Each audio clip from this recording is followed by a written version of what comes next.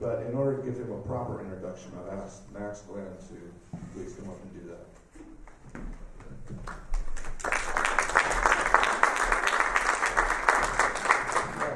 I feel privileged to be able to introduce a friend to my friends in Yachats.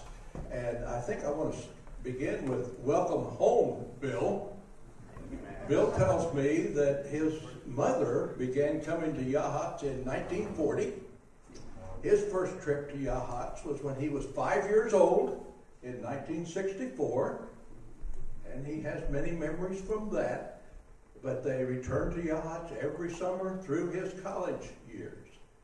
And then in 19, what was 87, when you had an opportunity to come back to uh, the Central Coast, his relationship with Yachats was one of the things that really attracted him. Bill graduated from Pacific University with a Bachelor's of Arts in uh, Communications from Northwestern University with a master's degree in journalism some people will remember his voice from the radio, but he was elected. I have to look at my notes to get how many times. Bill was first elected in, in 2004 as county commissioner for Lincoln County, elected again in 2008 and again in 2012. So you're in your third term. So it's a real joy to welcome you to Yachats for this presentation.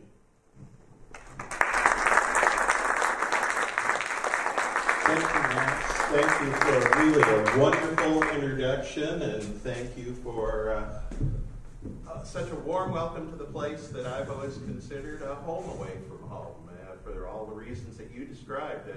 Talk about uh, Yachats roots. I mean, my mother remembers. Anybody remember Beulah's? Of course, and she remembers eating at Beulah's when Beulah was still there. And she also said she remembered, this was somewhere in the late 40s, visiting the house where the Yachats telephone switchboard was located. The woman who was the switchboard operator called, uh, you know, worked out of her house. I mean, what, what a great piece of history. So I'm very excited to be here today, very excited to have an opportunity to kick off my tour to promote my new book called McCallandia, a utopian novel. And I want to thank everybody who's already bought copies. What a great kickoff this is going to be. So I'm going to talk a little bit about Tom McCall, who is the main subject of the book, and uh, read an excerpt or two or three, and be glad to take questions. And uh, let's kick it off. The inspiration for this book came from a single photograph. This was taken by the great Salem photojournalist Jerry Lewin, 1967, at was what was then Parker Stadium in Corvallis. University of Southern California was going to be playing Oregon State in football. That was one of the games for the ages. If you're a college football fan at all, the Giant Killers of Oregon State beat USC three to nothing. Go Beavers. Well, two years ago was the centennial of Tom McCall's birth. He was born in 1913, and there was a lot of celebration of Tom McCall's time in office. And uh, Matt Love, a lot of you know, and of course he was last month's program, uh, wrote a blog post where he said, that photograph inspired him. And he said, Someday I'm going to write a novel. The premise will be instead of Ronald Reagan, Tom McCall was the Western governor who became president of the United States. And I'm going to call that book McCallandia. Well, that hit me like a thunderbolt because Matt and I have been friends for years. We share a great admiration for Tom McCall. And I have a particular passion for the genre called alternate history. So a few nights later, I saw Matt and I said, Would you consider collaborating on this maybe? And he said, No, Bill, I think the universe means for you to do it. I'm really never going to get around to it. So here's the result. Off the presses this week, and the first copies available right here. This is McCallandia. So let me ask How many of you were in Oregon when Tom McCall was governor? Okay, so a lot of folks remember the McCall governorship. And how many of you would maybe say that you moved to Oregon in part, at least, because of the things that Tom McCall did and the reputation he helped create for the state? Okay, so clearly, uh, clearly, a lot of us uh, know the Oregon we live in today has been shaped by Tom McCall. So, what's this book all about? As I mentioned, I'm a big fan of alternate history, and here are just three examples of the genre. Basically, it's taking historical settings, historical characters, and then having what the writers call a point of departure. Something significant changes, and history takes a different direction from there. That first book, Bring the Jubilee, was published in the 1950s, and it is probably considered the classic uh, account of a world where the South wins the Civil War. Hitler victorious, that probably is self explanatory. And then Surrounded by Enemies. This was uh, one of several books that came out just a couple of years ago, imagining a world where John F. Kennedy survived Dallas.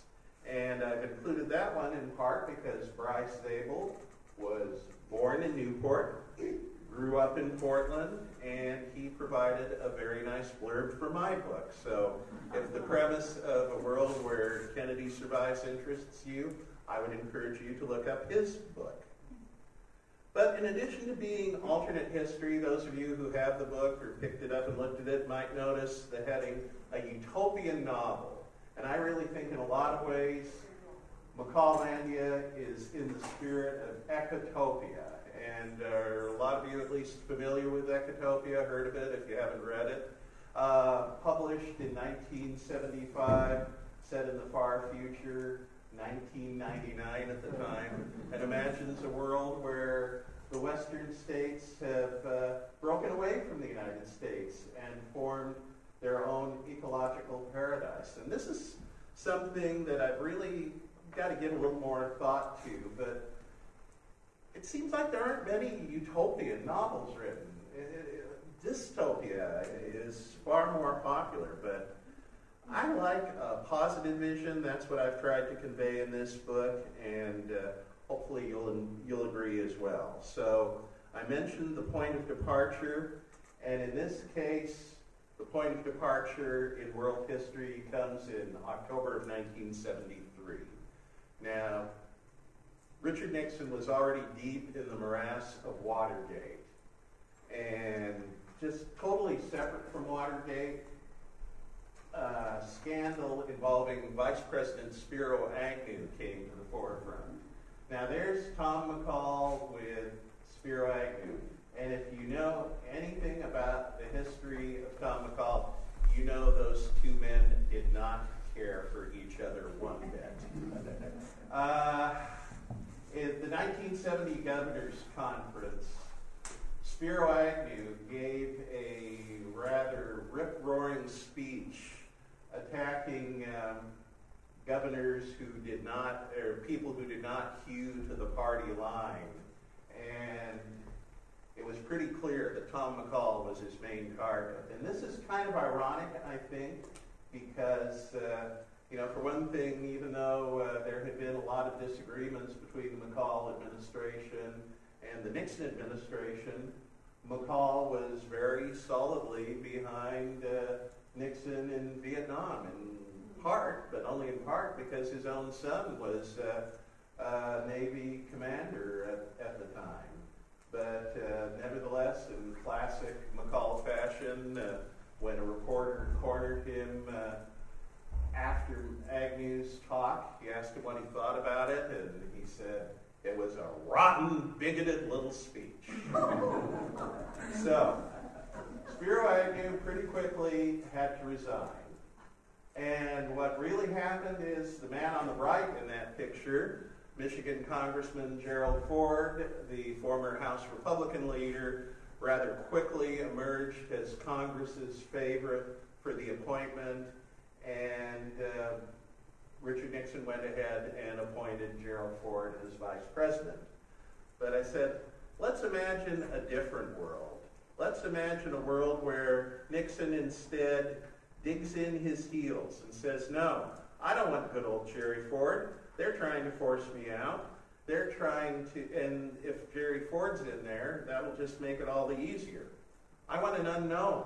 I want a maverick. I want somebody that Congress won't trust, that they won't know.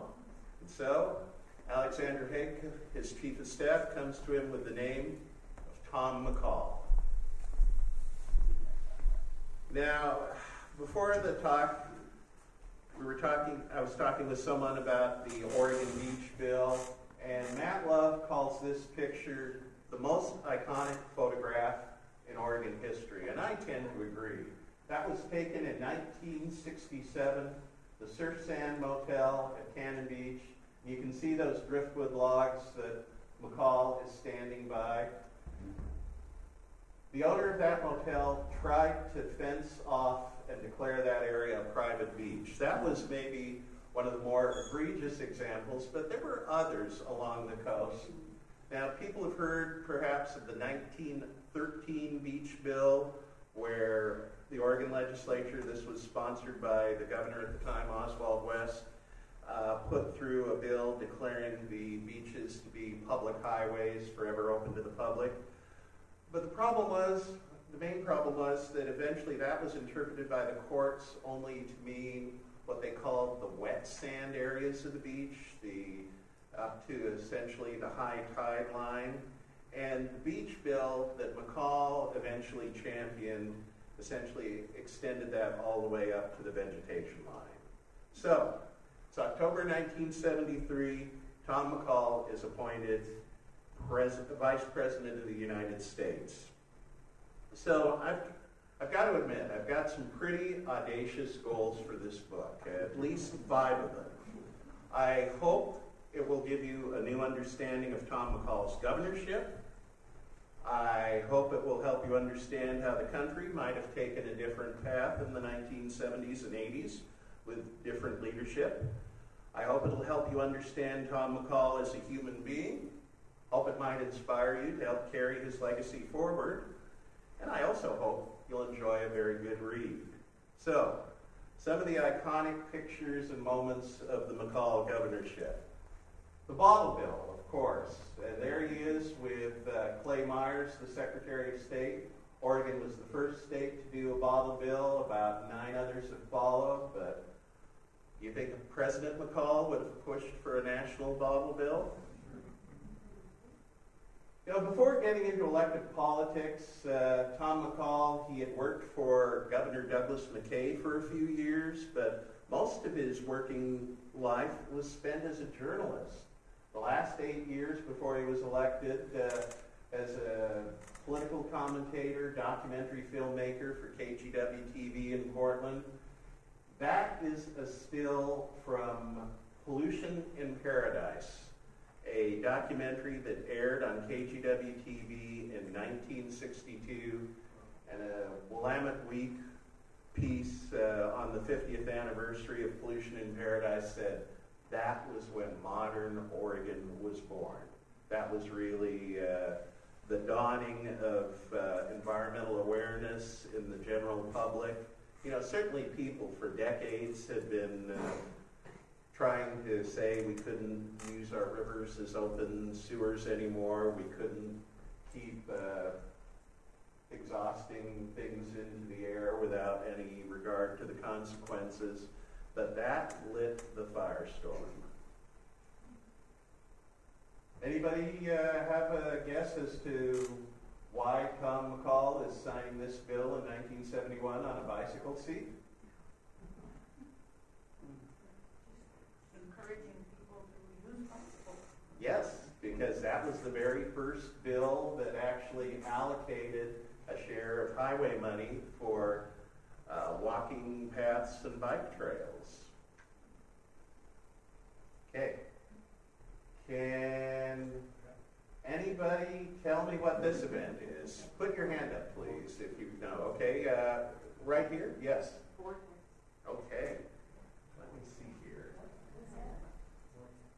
Board Okay.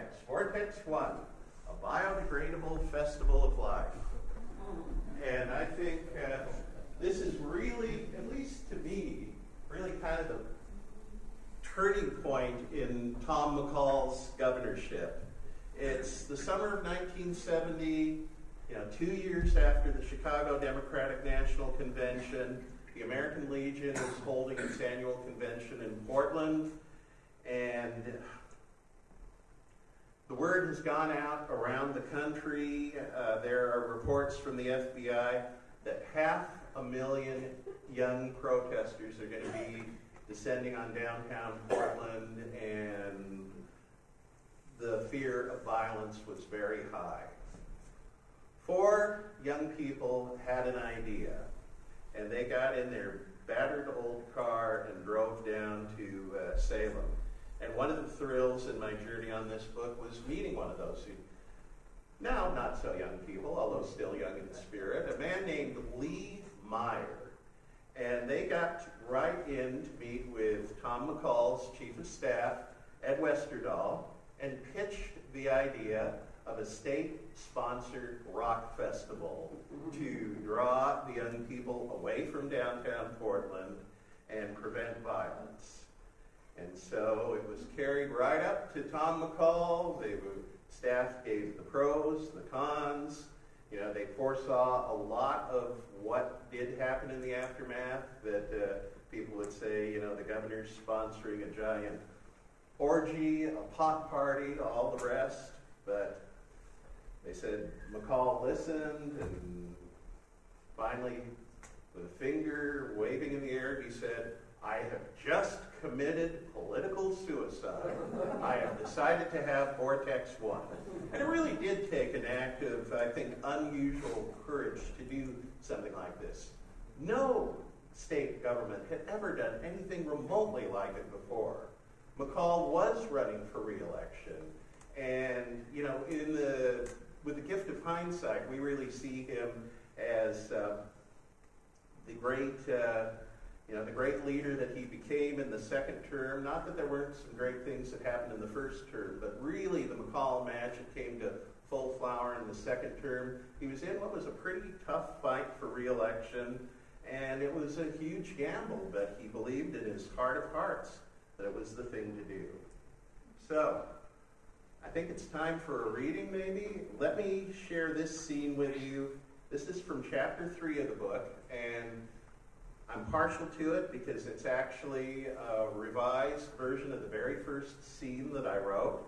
So, just to set the stage a little bit, um, we've got the opening chapter of the book, which is the state funeral for President McCall in 1983. Chapter 2 is called Fear and Loathing on the Oregon Coast. Uh, I tried to put my journalism skills to use a little bit, and you'll find uh, bogus news stories, editorials, oral history transcripts.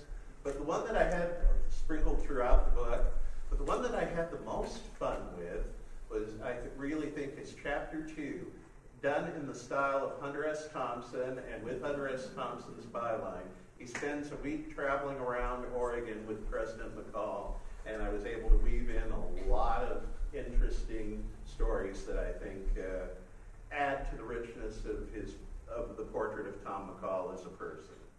So, chapter three opens with the scene in the Oval Office where Al Haig persuades uh, Richard Nixon to uh, move forward with the appointment of Tom McCall. And then the scene shifts to Oregon.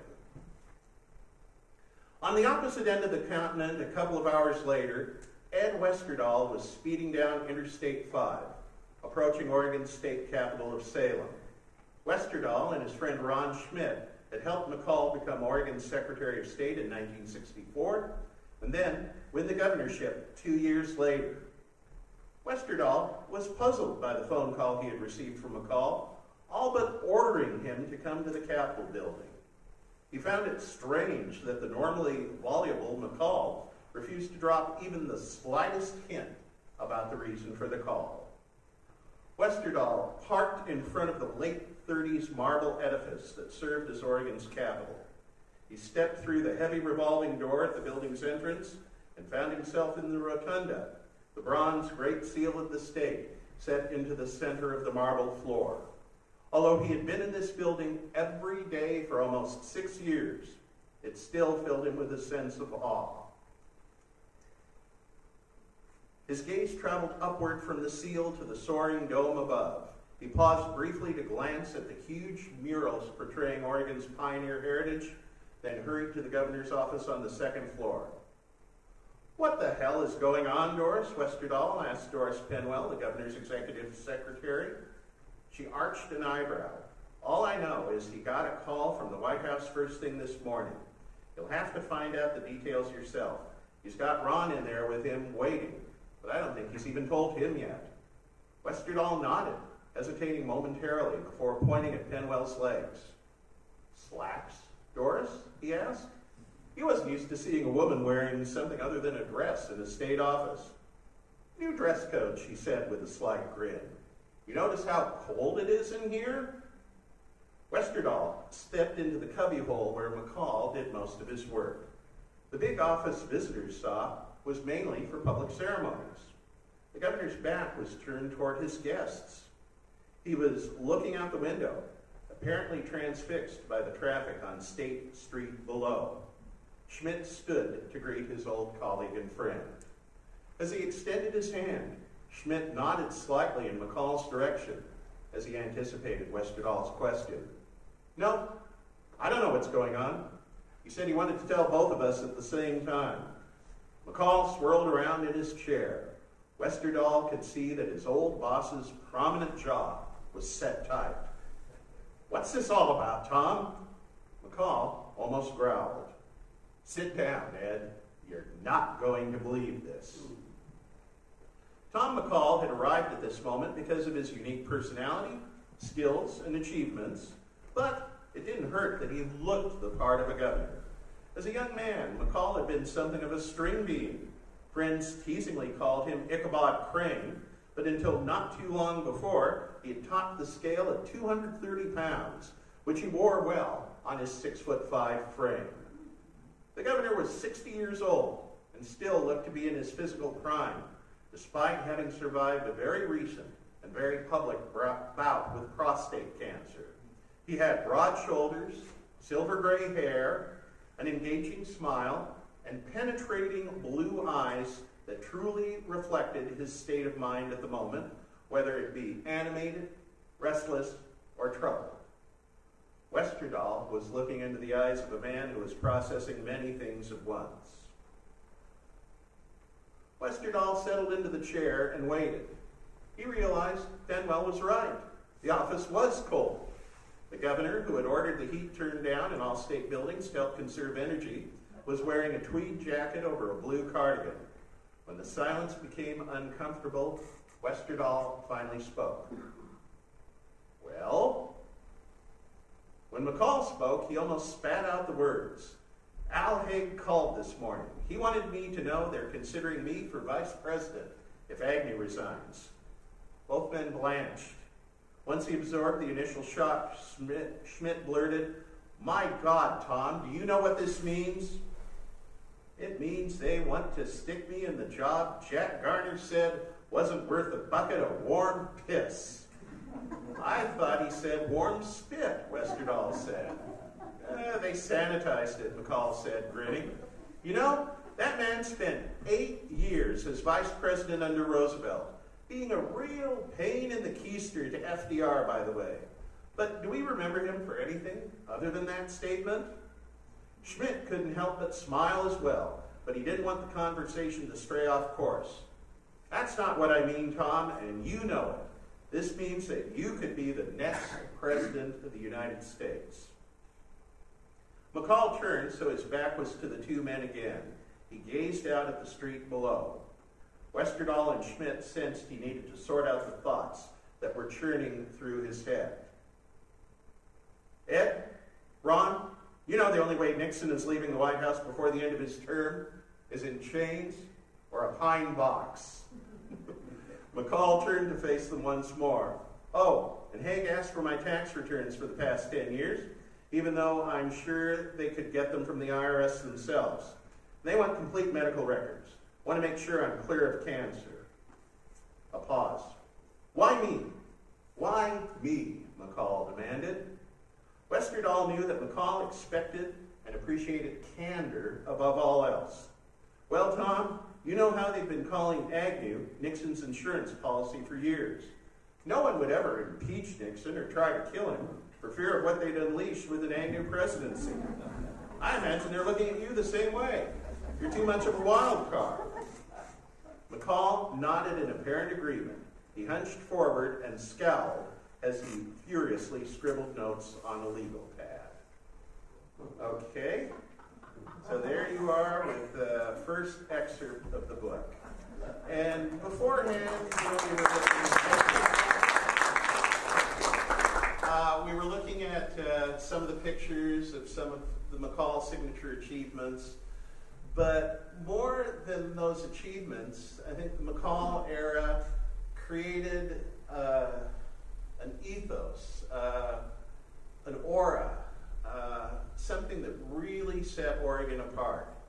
Now, you may remember this sign. Some people actually think it was on the highways coming into Oregon. It was not. This was created by a group called the James G. Blaine Society. And that was a play on a famous statement that Tom McCall had made in 1971 uh, in a couple of different settings. Back then, the state's marketing slogan was relax in a state of excitement. So Tom McCall stood at a podium and he repeated this in several interviews after. And he said, We want you to visit our state of excitement again and again. But for heaven's sake, don't move here to live. Or if you do move here to live, don't tell your friends where you went. so the James G. Blaine Society played on that, as did the Oregon Ungreeting cards. And if you can't read that, it says Tom Lawson McCall, Governor, on behalf of the citizens of the great state of Oregon, cordially invites you to visit Washington, or California, or Idaho, or Nevada, or Afghanistan. and I am really doubly thrilled, triply thrilled. James, if you wouldn't mind standing up, a special guest here today, and the man who brought the Oregon Ungreeting cards is James Cloutier.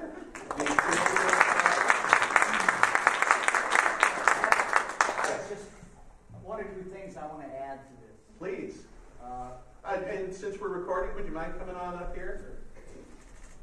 And while James is coming up, let me tell you how. Well, first, you'll find in the book an original piece of work James created for the book. Last November, the Association of Counties, our annual convention in Eugene, the evening reception. I see James sitting there. I didn't know him at the time, but I saw his work on display, and I thought, oh my gosh, could it be? And sure enough, it was. And uh, I asked him, and he very graciously created an original piece of artwork for the book, and you will find that inside the book. But please. Thanks, Bill. Begin with, uh, I need to let you know I'm a charter member of the James G. Blaine Society. Uh, I knew uh, the uh, creator, a guy named Ron Adell, who was uh, at the university about the same time I was.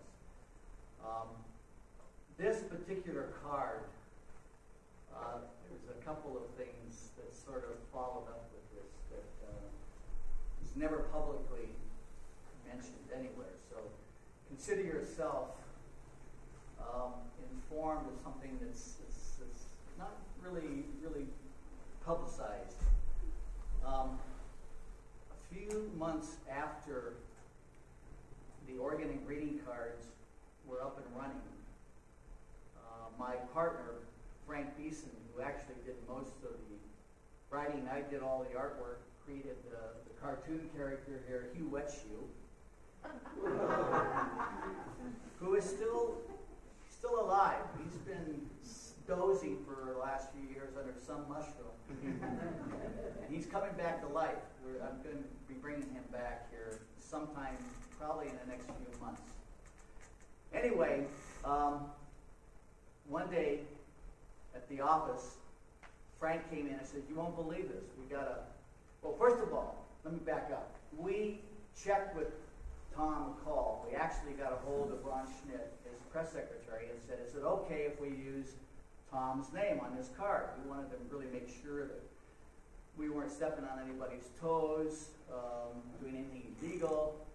And uh, Ron Schmidt got back, said, oh yeah, the governor's going to love it. So um, we used his name. And a few months later, Schmidt sent us a copy of a letter that he got, that the governor received. And this letter read something to the effect Dear Governor McCall, my name is so and so. I was born and raised in Scio. Uh, ended up going to Oregon State University. And uh, about a year ago, I joined the Peace Corps. And they sent me to Afghanistan. And I recently received one of these cards. And I just want you to know, Governor, we don't want those people here any, at all. so that's the first story. The second story is, and I don't remember where I heard this, uh, but somebody told me they saw a car speeding up I 5 going through Eugene with California plates and a handmade bumper sticker that said, It's okay, Tom, I'm just passing through.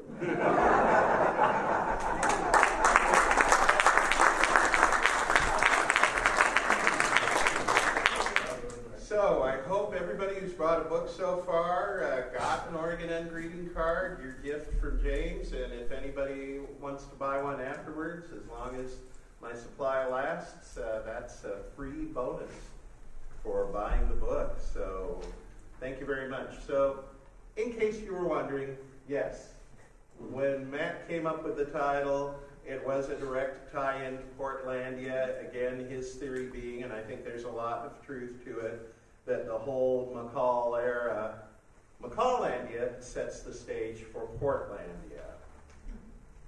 So, another excerpt? Okay. Hey, Bill, Yes. I'm sorry, I didn't Yes, Brent. understand what you just said.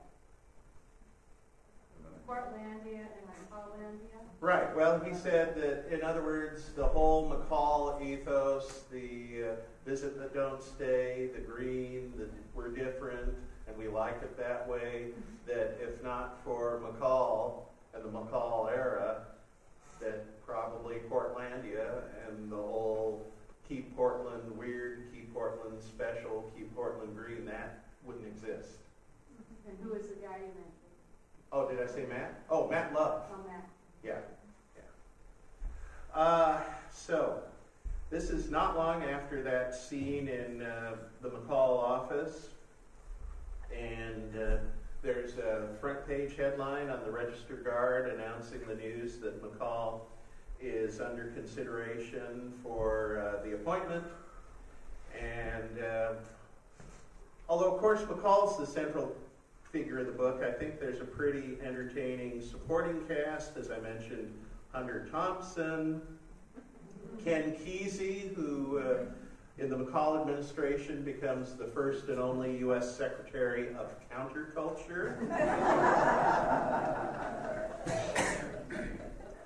and even though I tried to be logical, at least plausible, uh, John Lennon makes a couple of appearances in this book.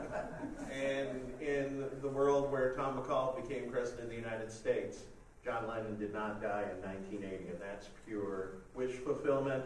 As is another uh, iconic Oregonian who makes several appearances in the book, and here is his first appearance, and he does not die young either. The news continued to filter its way around Oregon. For some who weren't closely attuned to political happenings and the deeper motives behind them, it took a while. A 22 year old graduate of the University of Oregon with a bushy mustache and an intense stare didn't hear about it until one of the customers at the bar he was tending, the Paddock, his own favorite hangout, pointed the bold headline out to him the following night. That part time bartender, Steve Prefontaine, was living in a trailer with his German shepherd Lobo devoting all his energies toward vindication. Prefontaine picked up the paper, already wrinkled and stained from spilled beer, and tried to make out the story in the dim light and the haze of cigarette smoke. Pre owned every major distance record in the American running record books, but he had failed in his quest for the top prize at the 1972 Olympics in Munich, finishing a disappointing fourth in the 5,000 meters. He gave back to the community, spreading the gospel of fitness, lecturing at local schools, and organizing a sports club at the state prison. But his laser focus was now on preparing for Montreal and the 1976 Summer Games. Still, he found the news about the governor to be intriguing. Prefontaine was noted for his bluntness and had little use for most politicians. McCall was an exception, though. In Pre's mind, McCall was different. That summed up most Oregonians' feelings toward their governor. McCall was different. Young and old, rich and poor, rural and urban, black and white, Republican and Democrat, Oregonians from every walk of life loved Tom McCall. And I think I think that picture, another one of Gerry Lewin's classics, uh, really kind of captures that nicely. Uh, serving ice cream to students at a uh, grade school in Salem, which he did at least a couple of times during his governorship. I mean, that is a man who genuinely loves people. I mean, can you look at that picture and deny it? And I think that uh, certainly shines through there. So, why do we admire Tom McCall? Why do we remember him? Certainly, he was a man of vision. And where does my admiration come from? Okay, this is one of the, the most precious items I own. That is my copy of Tom McCall Maverick. And in case you can't read it, it says Merry Christmas to Bill Hall from Tom McCall, December 12th, 1977. My father picked that up for me. I actually had not met Tom McCall yet, though uh, that was not very far off. I had grown up and admiring Tom McCall during his governorship and was looking forward to 1978 and the opportunity he would have to try to win a third term as governor. That didn't work out, but I did volunteer in that campaign and I met Tom McCall three times and was able to introduce him at the campus of uh, Pacific University a couple of weeks before the election. And uh, it's really one of the great experiences of my life and how things come full circle. And the research for the book, I interviewed his surviving son, Tad McCall, twice by telephone, had two very long conversations, and last month I got to meet Tad McCall for the first time. Tad lives in Arlington, Virginia, but uh, returns to Oregon often, and as a matter of fact, he's going to be back uh, end of this month on April 29th. Governor Brown will be signing a bill that I wrote that declares March 22nd as Tom McCall Day and in Oregon from hereafter It encourages all school districts to make use of a curriculum that the Oregon Historical Society developed a couple of years ago designed to not only teach uh, young people about the history of their state, but hopefully to inspire them and to uh, follow the lead and the legacy of Tom McCall. That is the ranch under the Rimrock, and if that, the ranch in Central Oregon where Tom McCall grew up, and certainly I've got a lot in the book about uh, Tom McCall's youth, his his family, and the inspirations that drove him, his great love and passion for the outdoors. I mean, does anybody remember the famous film of Richard Nixon in a business suit and wingtips walk, walking down the beach in California? I mean, did you ever see anything that looked so phony? That is a real fisherman, and I was able to talk to a few people who went fishing with Tom McCall and got a few great stories about Tom McCall the fisherman, also stories about Tom McCall the golfer, and he liked to play at Salishan's. Not everybody may know that McCall's had a weekend beach house at Roads End, just north of Lincoln City. And something I learned from Tad McCall that I had never seen in any published source is that uh, Tom McCall also liked to play tennis and said that his dad was a very aggressive player, mostly self-taught, some unusual trick shots he had developed himself, and that he liked to play, you know, Tom liked to play against his son while Tad was growing up. He said, until I got big enough to start beating him regularly, and then his competitive nature, we just didn't play as much after that. Um, but really, the ranch was where it all started. I think his love of nature, he learned the sense of public service. He came from really a remarkable family. I mean, his mother, Dorothy McCall, anybody who remembers the McCall years, she was quite a force. The stories about Dorothy are legion. Both of his grandparents, his grandfather McCall, Samuel Walker McCall, was in Congress for Massachusetts for 20 years, and then after that was governor of Massachusetts for three two-year terms. His uh, grandfather Lawson, Thomas W. Lawson, who he was named after, was known as the Copper King. At the beginning of the 20th century, they said that he controlled the entire supply of copper in the United States and had a net worth of $40 million. I mean, imagine that. And I mean, that's uh, pretty good walking around money today, but uh, that's an unimaginable fortune. And yet, when he died in 1925, he died broke. But uh, in addition to being a uh, millionaire businessman, both men, you know, both uh, Thomas Lawson and Sam McCall were writers. And I think uh, that's where Tom McCall's love of the written word came from. And the house, you know, you might wonder how did uh, the child of, how did the children of two very prominent, wealthy uh, Massachusetts residents end up in uh, the wilds of uh, Central Oregon in the early 20th century? Well, Hal McCall, Tom's father, had this crazy dream of being a rancher, so the parents uh, staked them to that. But among other things, they equipped the, made sure the house was equipped with uh, all the finest fixtures, a library full of books, and um, let's see here. And so I still remember like a film clip of Tom McCall with uh, a friend of mine, Paul Hansen, a reporter, taking him through the house, pulls a book off the shelf, uh, and says, Letters and Speeches of Oliver Cromwell. How'd you like to plow into that when you're six years old?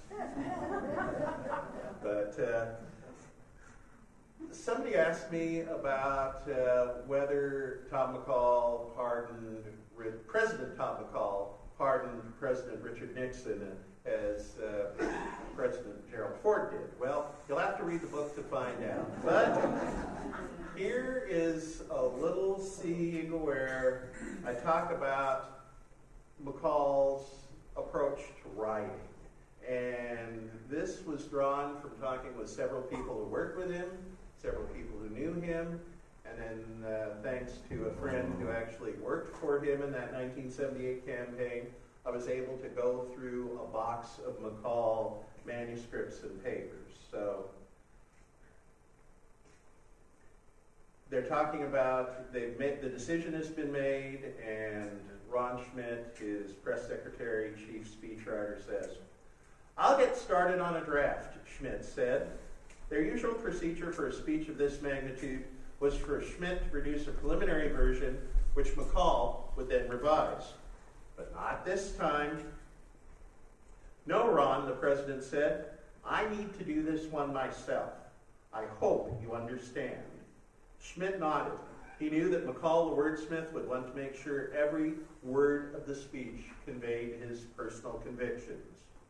Even before his love of the environment, and his love of public service, Tom McCall had developed his love of words. Words mattered deeply to him. He wanted to make sure that he chose every one of them with extraordinary care on this occasion. Soon, McCall was ensconced in the small study he had established just off the Oval Office. This was reminiscent of his working office in Salem, the desk piled high with books and papers, his trusty Royal manual typewriter sitting in the center of the desk, a well thumbed dictionary within easy reach. He prided himself on never needing a thesaurus. The dictionary was the tool he used to make sure he chose exactly the right word. Don't touch anything or I won't be able to find anything, he sternly told his professional colleagues when they veered too close to his workspace. The same warning applied at the McCall home, where Tom's messy study stood in sharp contrast to the otherwise neat house that Audrey kept. Neatniks would never understand, but most people recognized that McCall's desks were a perfect reflection of his mind, forever overflowing with facts and ideas, passion spilling over the edges, an overarching vision that was too great to be contained in neat, orderly piles. Woodrow Wilson was the last president to write all his own speeches. Given the modern demands of the job, and with someone who understood his thought processes as well as, well as Schmidt close by, McCall wasn't going to try to revive that tradition. But this address was of singular importance. The president spread out the notes he had scribbled, rolled a piece of paper into the well worn Platen, and began hammering away with two fingers.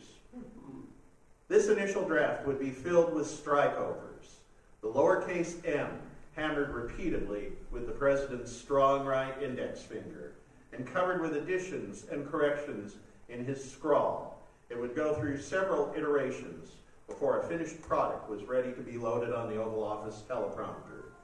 He worked late into the evening.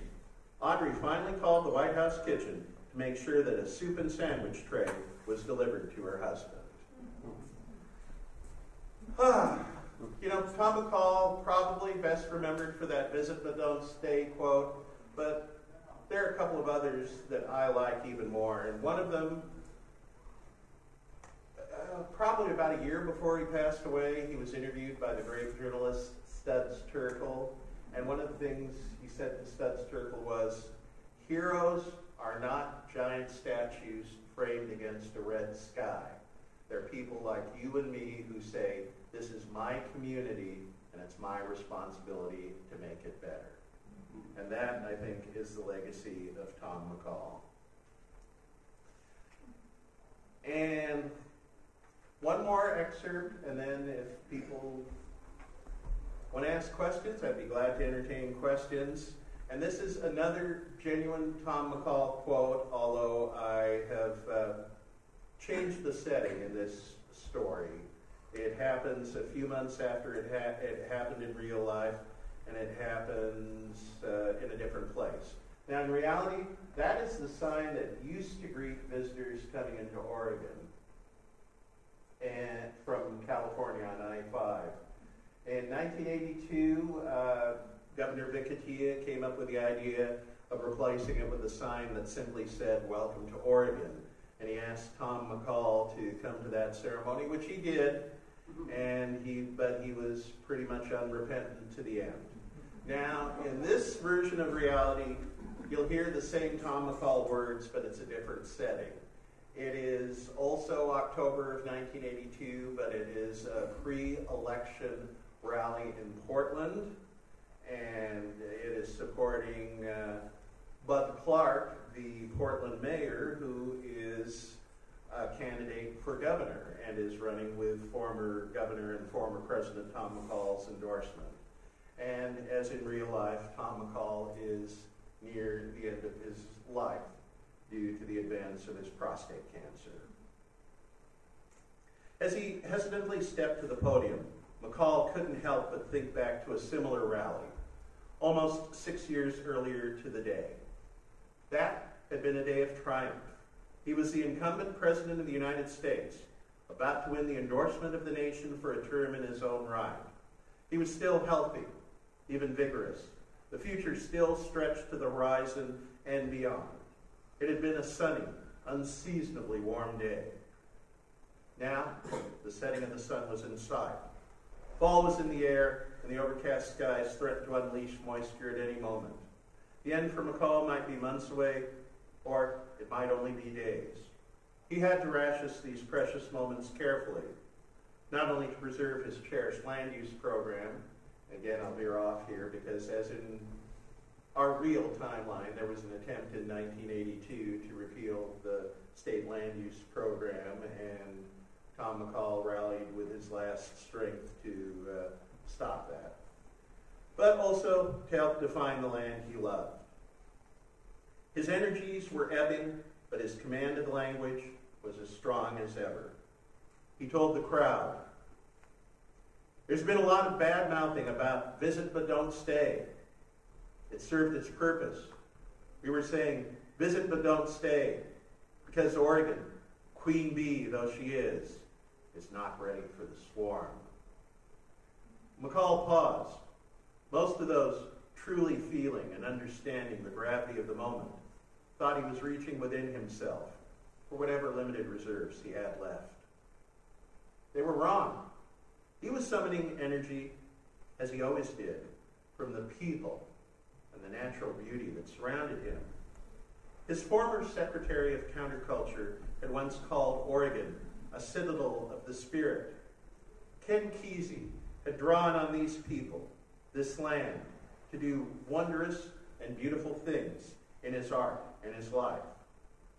Tom McCall thought Kesey was right, but he took it a step further.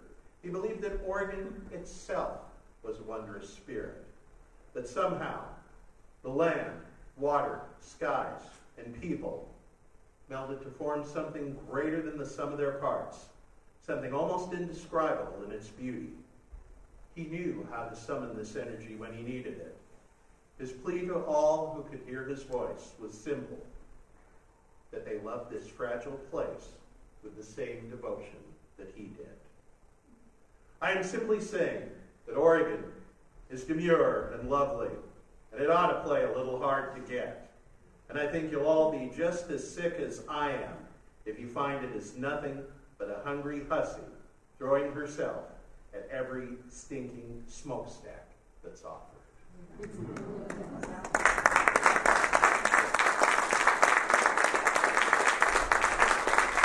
And to this day, we've had our battles back and forth, but Oregon has not yet become that hungry hussy, and that is the triumph of Tom McCall.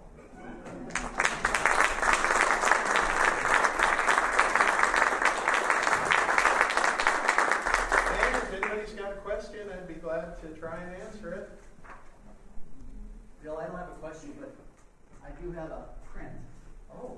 I, I, besides being a cartoonist, I do draw. Yes. Well. Yes.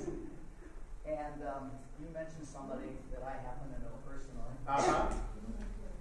Steve Prefontaine. Oh, that's beautiful. Uh, this is yours. Oh, thank you. Thank you.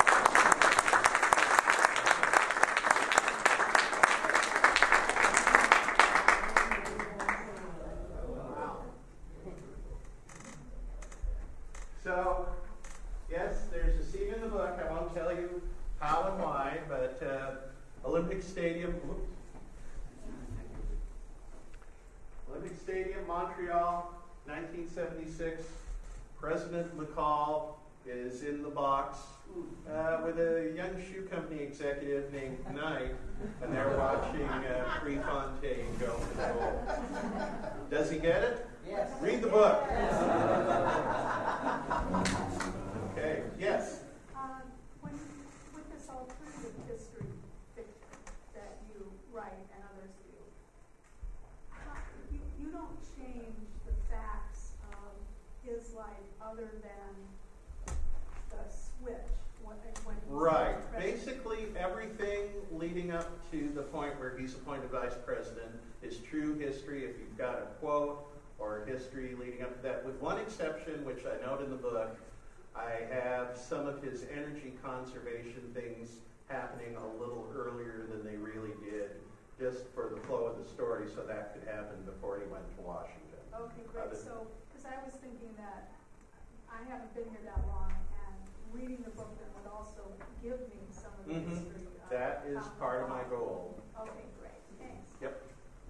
Max, You had an opportunity to interview and talk with a number of his former staff. right.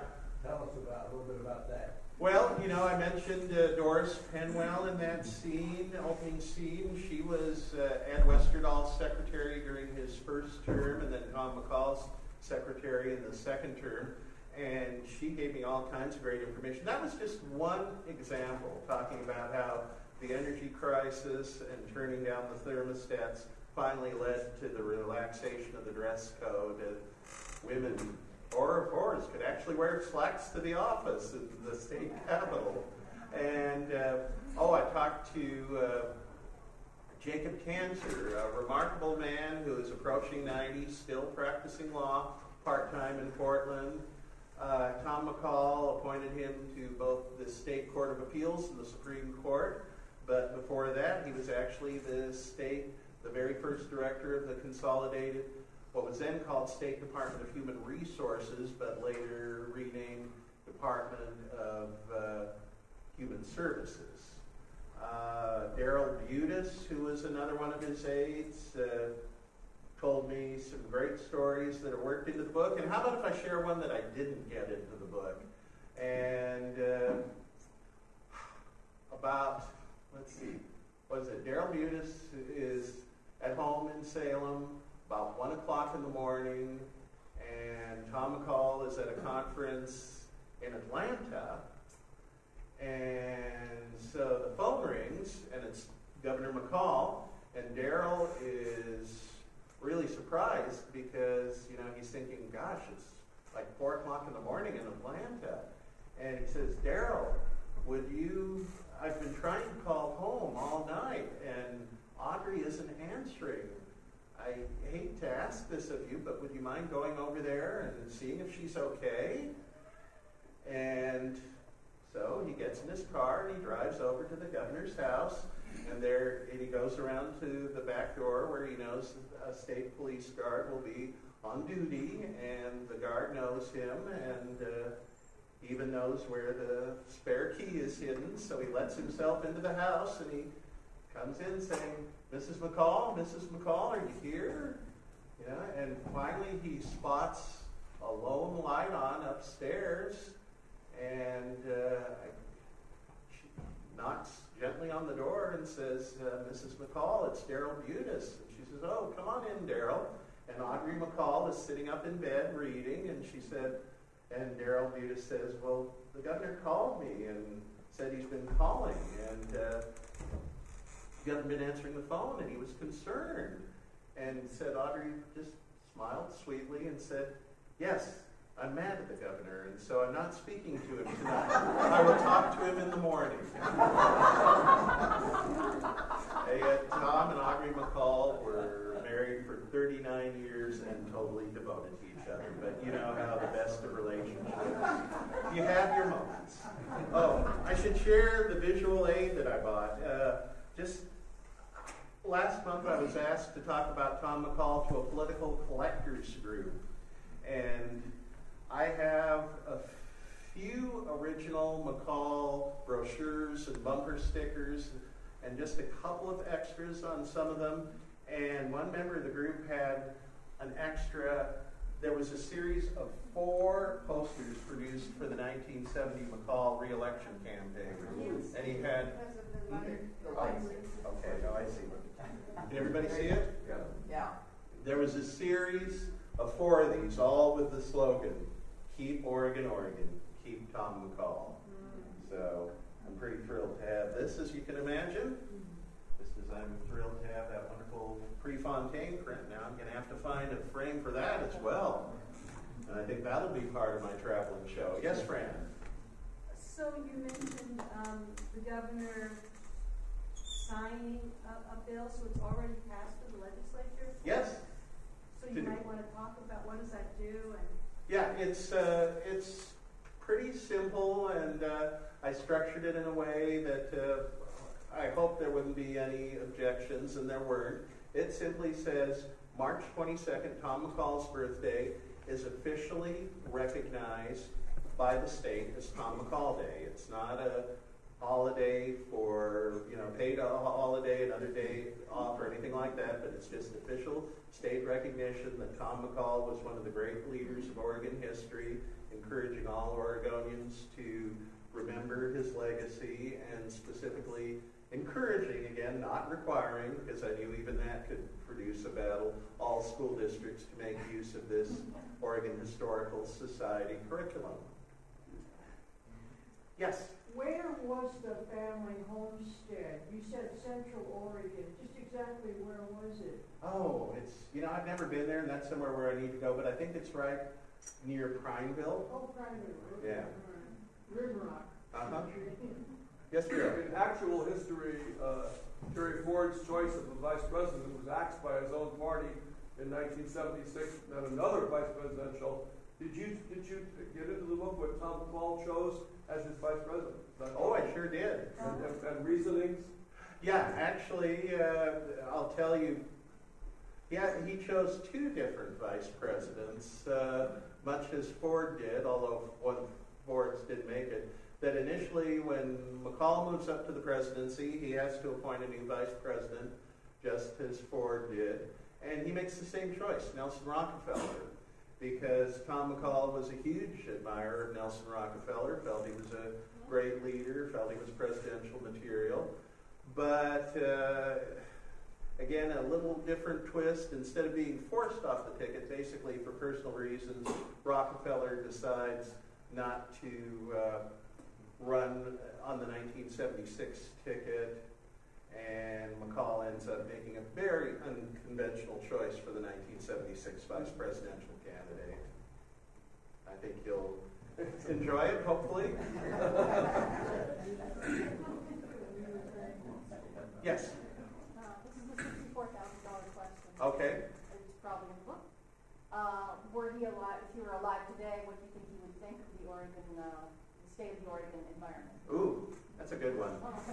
Uh, you know, he was a fierce champion of the environment, and yet I also think he was a pragmatist in some ways. I mean, his son last month was telling me a story about in his first term when they were dedicating a new dam that uh, had provided sufficient water to allow the uh, Warm Springs tribe to develop the Kah-Nee-Ta Resort. And in his speech, he said something about, and I hope this will be the last noose around the neck of the Columbia, words to that effect. And, he, and Tad McCall said he could see Vice President Humphrey recoil a bit at that.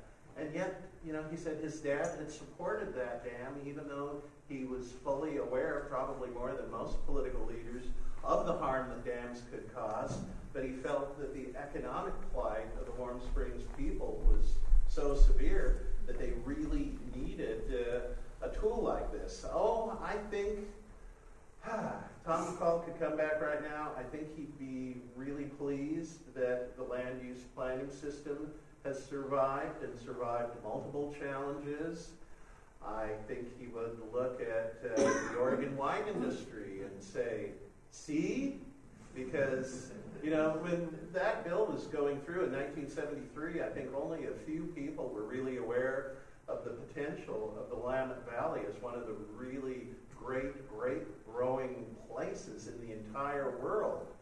And if we hadn't had land use planning in place, I think a lot of those uh, grape fields would have been uh, gobbled up by subdivisions. You know, I think he'd look and see, you know, he'd probably be asking why we hadn't extended the bottle bill beyond soft drinks and beer. I think he'd be kind of concerned that maybe Oregon had lost its way, lost its position of leadership, and saying, why aren't we a leader anymore? Why aren't we an innovator anymore? Why can't we do better? Any other questions? Well, thank you very much. This has been a lot of fun.